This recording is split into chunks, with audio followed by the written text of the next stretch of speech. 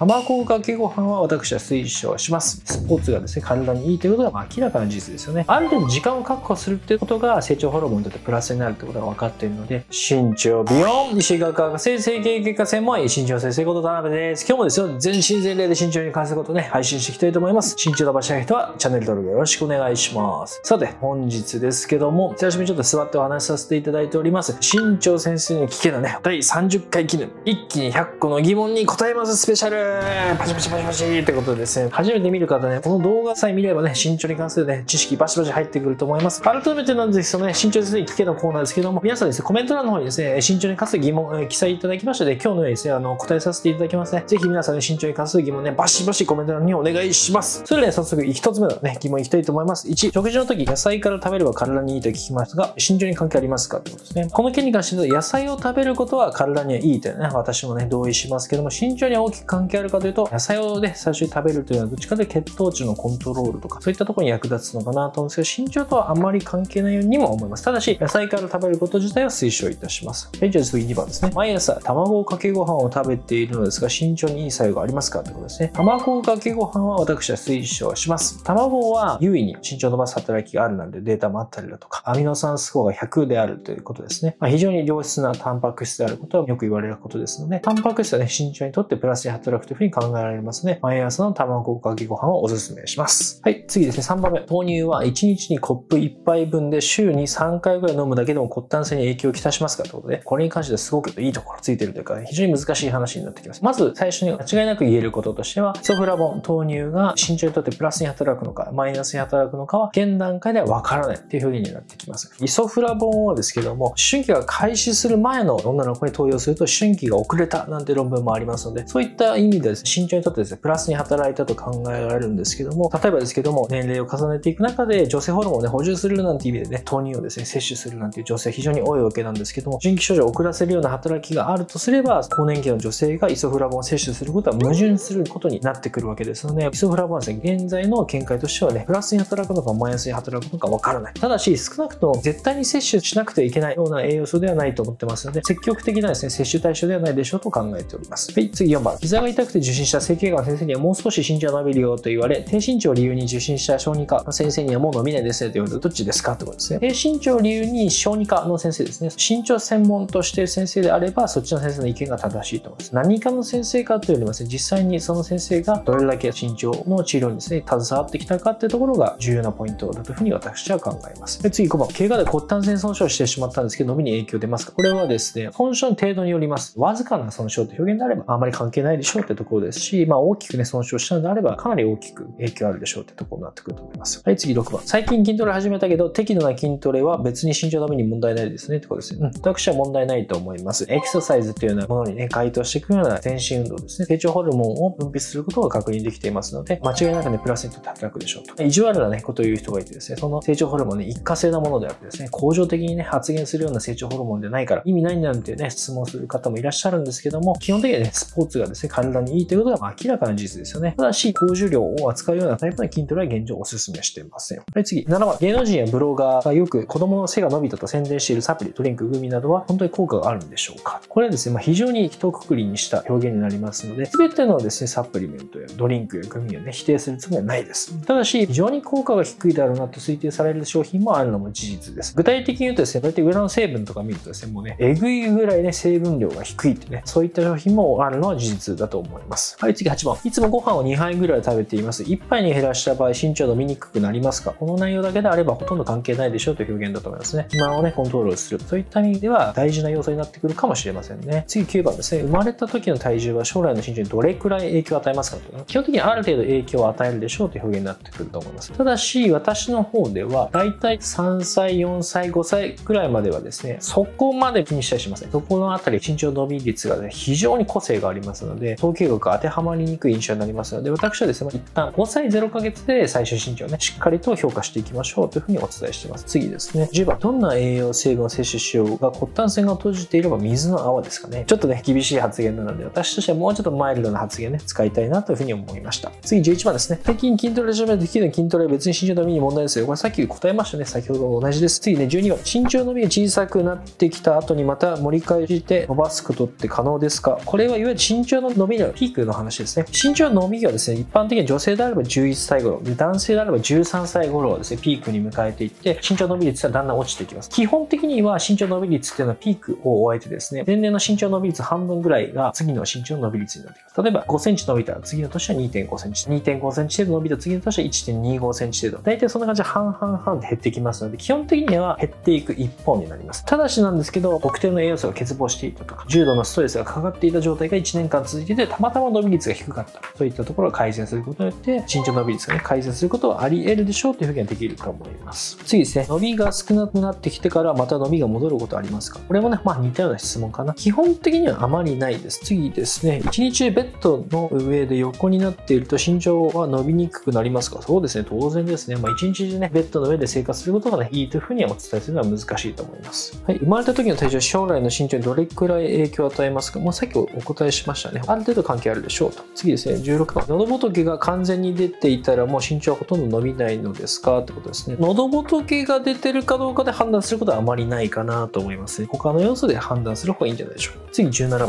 エッチい妄想しすぎるのは何か心情に影響するのでしょうか？ってことですね。エッチい妄想するような年齢というのは、いわゆる、性ホルモンがおそらくね、出てきて、そういったことにね、関心が出てきたっていうような時期になりますので、そういった意味だと、身長にとってですね、非常にま重要な時期であるというふうな表現できると思います。エッチ妄想自体で何か直接的に影響をするというのをね、論理立てで説明することは難しいでしょう。ただですね、まあ、何かしらちょっとね、影響があるのはなんとなく想像がつくところだと思います。はい、次ですね、18番。母乳が身長を伸ばすと聞いたんで、それは本当ですかということですよ。母乳に関してこれだけでちょっとコメントっていうのは表現すると難しいのが本音になります。はい、次19番ですね。中1のね、お子様の最終身長お願いしますということで、こちらですね、9歳からね、12歳8ヶ月のデータいただいております。成長シート欲しい人ね、LINE の方にね、成長シート希望とお伝えいただければ送りますので、ぜひ参考にしてください。日本人のね、平均的な身長伸びを表にしたものになります。今回はまずはね、直近のデータを見てみると、12歳8ヶ月で145センチという形になりますので、日本人の平均的に身長が伸びていけば163.8から164.5のペースにいらっしゃるというのが現状になります。ここからですね、164.5より高くなるタイプなのか、それとも163.8よりも低くなるタイプなのかというのを検討していきます。過去のデータを見てみると、9から11歳の頃はですね、大体159から160センチのペースにいらっしゃることがわかります。11歳から身長の伸び率が非常に高くなっているというのがわかりますので、12歳から現在までですね、非常に右側にシフトしているというのがわかります。それに対してですけども、ここ3ヶ月程度の評価になってしまいますけども、右側に行くスピードが落ちているというのがわかりますので、反転するような傾向が少し現状としては見られるでしょうというところが一つお伝えできると思います。さらにですけども、見てみると、声変わりが始まってっていうところで、思春期にね、止まってぐーっと身長が伸びたタイプになりますので、ここからですね、平均的に身長が伸びていくよりも、最終身長やや低めに推定されるのかなという印象になりますので、160センチ程度というふうに言われたそうですけど、私もですね、まあそういったようなところ予測になってくるかもしれません。ただし、本来であれば採血やレントゲンを持って正確に予測することが望ましいと考えます。次20番。中学生身長が止まった事例ってありますが、それに当てはまりそうで、あ、男ですってことですね。もちろんね、あり得ると思います。一般的に言うと思春期総発症って呼ばれるような、思春期が非常に早く出るタイプですと、あり得るかなというふうに思います。次21番ですね。スクワットをすると身長が伸びにくくなると本当ですか？スクワットだけで、ね、身長伸びにくくなるなんてことはありえないでしょう。次22番。身長伸びにいい家で短時間でできる運動って何かありますか？バスケットのがっつり系の運動以外で教えてください。お願いしますってことですね。最近だったら BFIT とか、あとはまあ YouTube で家でもできる運動とかね、ああいうのを活用してもいいんじゃないでしょうかね。ポイントになってくるね、短時間でって書いてあるんだけど、短時間はダメ。ある程度時間を確保するっていうことが成長ホルモンにとってプラスになるってことが分かっているので、そんなにハードすぎなくてもいいけど、時間しっかりとって60分やるってことを私はお勧めしています。次23番。前十字靭帯断裂してしまってもう身長伸びませんかそんなことないですよ。全然大丈夫ですよ。次24番。いつもご飯2杯ぐらい食べて1杯に減らしたら身長伸びにくくなります。もうさっき答えましたね。はい、じゃあ次25番。親180と157、ともに万熟型の子供には投薬など何歳くらいから本格的に治療を始めますかこれはですね、どういった意味なんでしょうかえっ、ー、と、いろんな解釈ができると思います。まずはですね、投薬はお薬を投与するってことですけども、まあ、病気でない以上はですね、何歳から投薬しなくちゃいけないなんていうことはないです。ですので、まあ、そこら辺ですね、いろんな状況を加味しながら検討していくっていうところになると思います。まずはね、受診いただいてこういったので検討するといいんじゃないでしょうか。次26番、どんな栄養成分を摂取しようが骨端線が閉じていれば水縄ですかこれもさっきと同じ質問ですね。被ってますね。次27番、質問なのですが、春期前の男の子が動物性タンパク質を取りすぎると思春期早く始まる。また思春期に入っている男だと思春期早く進んでしまうことはないのでしょうか亜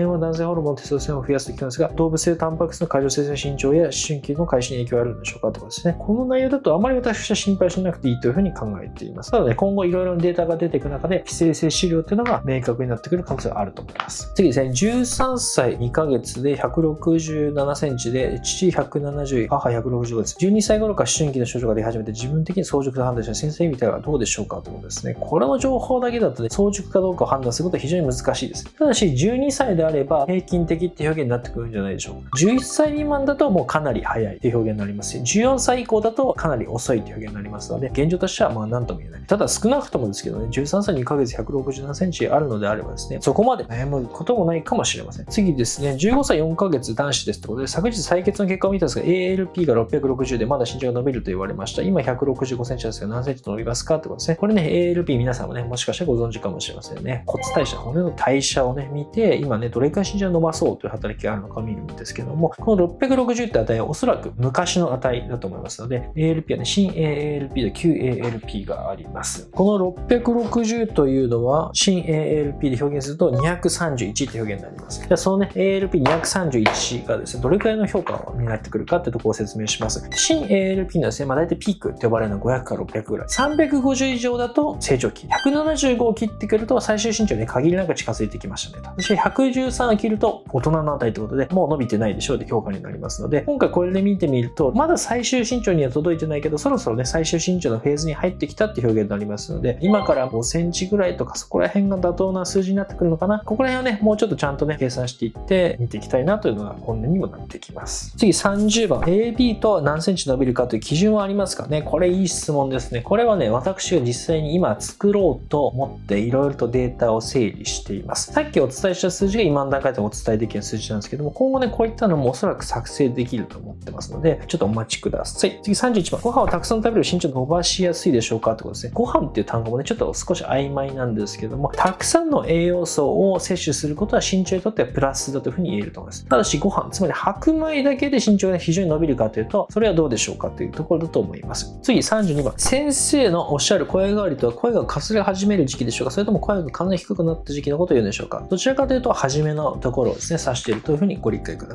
ただし、思春期症状っていうのは大体判定が難しいです。もうそれはそういうものなので、そこ神経質になりすぎなくていいです。なので、まあ、ざっくりと大体それぐらいっていうのはね、認識で十分だと私は考えています。次33番、発毛に関しても、生え始めの時期なのか完全に完了した時期なのか、これも同じですね。生え始めの時期を指します。次、34番、僕は高1で165、ここにも同じでした。なので、毎日朝ストレッチをして、納豆、卵、青魚を欠かさず食べていて、8時間寝ています。これから伸びる可能性はありますかってことですね。父が178、母が160で、僕は17歳2ヶ月で168で、せめて170センチ伸ばしたいです。ちなみに小学校で腕2回、足1回と、中学校で足1回骨折してます。骨折は何かの影響出るでしょうか？ということですね。これはもう常にね、答えは一つ。伸びる可能性はいつだってある。というふうに思っていただいていいと思います、ただし、むちゃくちゃ伸びるかというと、それはね、何とも言えないかなと思うんだけども、まだまだ諦める必要ないんじゃないでしょうか。その中で、まあ、骨折は何か影響があるかということですね。まあ、何かしらの影響はあると思います。プラスに働くのかマイナスに働くのか、ちょっと何とも言えないですけど、おそらく少しだけマイナスに働くのかもしれないですね。ALP っていう数字が骨折するとですね、まあ、変動するわけですので、何かしらですね、代謝に影響があるというのは事実だと思います。次ですね、35番、6歳、3歳の男の子がいます。なんとか大きくなってほしくて、食事の質、量とかを気をつけていますが、食べる量にムラがあり、好き嫌いも激しく、特に肉、魚をあまり食べてくれません。これくらいの年頃の子供にはジュニアプロテインで栄養補給してもいいのでしょうかってことですね。ジュニアプロテインというふうにですね、まあ、一括りとされていらっしゃるので、その評価難しいんですけど、私は問題ないと思います。ちょっと3歳と早いかなっていう気もするけど、6歳も少なくともね、問題ないでしょうということだと思います。はい、次36番。高校2年生の16歳男子ですってことね。その後ね、何も書いてないってことでね。次、37番。最近、顎周りやおでこ、鼻、鼻下、ニキビ結構できるんですが、身長が伸びる予兆だったりしますかってことですね。ニキビができてるっていうのは、いわゆるね、男性ホルモンの発現が活発になってきたという表現ですので、今まで伸びてないのであれば、もしかしたらこれがね、伸びる予兆という表現はできるのではないでしょうか。次ですね、38番。父が174、母は158センチで、最近身長伸びが止まっているように感じます。脇毛は少し伸びています。あとどれくらい伸びるのでしょうか？現在166、今年15歳です。あと、爪半月は小指以外はあるのですが、身長と関係ありますか？とか